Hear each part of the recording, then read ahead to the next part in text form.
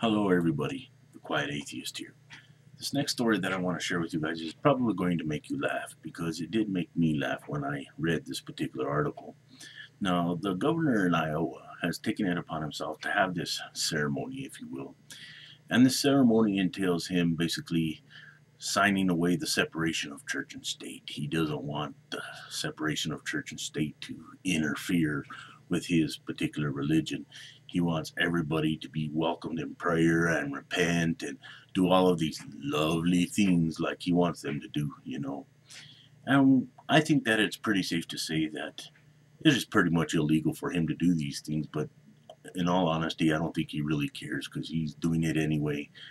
And he's perfectly selfish in regards to this particular issue at hand here. Like I've said in many videos in the past, I bet you that the founding fathers would literally have something to say about these particular issues because there's a lot of Christians out there in this particular country that we live in who share this exact same position. They literally want the separation of church and state basically thrown away like garbage so that way they can get their religion implemented into anything and everything that they do in government. And to me, I think that's a huge mistake honestly, I think that this particular individual should be held accountable for what he has done. Basically, you know, he knows that he can't do it. He knows that it's against the law for him to do these types of things, but he basically did it anyway because of his religious position. You know, and I'm pretty sure that he has a lot of supporters. I'm pretty sure that there's a lot of people out there that really agree with him in Iowa, but that doesn't make it correct, you know. I think that there needs to be a lot of people out there that need to put him in his place, that need to show him the errors of his ways, you know. I think that he's making a big mistake. But then again, like I said, when it comes to Christianity, this particular individual don't really care. And it makes me sick. Republicans make me sick when it comes to this particular issue because they want to do this in a lot of states. They want to do away with a lot of things that are put there by the founding fathers, and they just completely want this country run by a theocracy.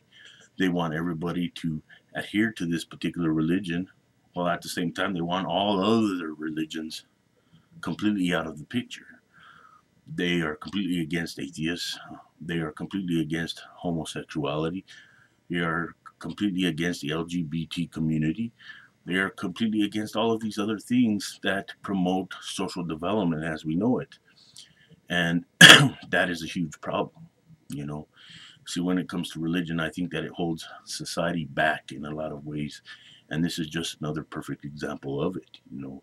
And at this particular point in time, I think that he's getting away with a lot of things. But hopefully he won't get away with this. Hopefully this individual would get punished for what he's done because he's just falsifying documents. He's just doing all of these things to meet his own agenda when it comes to his religion. And I think that makes me sick. It really does. And I think it makes a lot of other individuals sick as well. And honestly, I hope, like I said before, that he actually pays for what he's done because he's basically falsifying documents, if you will. I don't think he has the power to do these things. I don't think he has the power to literally throw away the Constitution, you know, like a lot of these other individuals. You know, I don't think any of them have the power to do what they're doing. And these are just theocratic individuals that have no morality whatsoever when it comes to society as we know it. And they don't really care, you know. And I wanted to share this with you guys because it's something that a lot of people are seeming to latch onto these days. You know, there are a lot of people out there who would literally want, you know, like I made in previous videos about Bibles being state books and this and that, you know. And it's just really pathetic. But please feel free to leave your thoughts in the comment section down below. I would really like to hear your opinions on this particular issue, you know. Please feel free to share this video with anyone that might be interested, whether it be on Facebook, Google+, Tumblr, or Reddit, wherever you guys hang out. Till next time, the Quiet Atheist is out. And remember, if you can't be good, be good at it. Most of all, thank you for watching, and I will see you next video.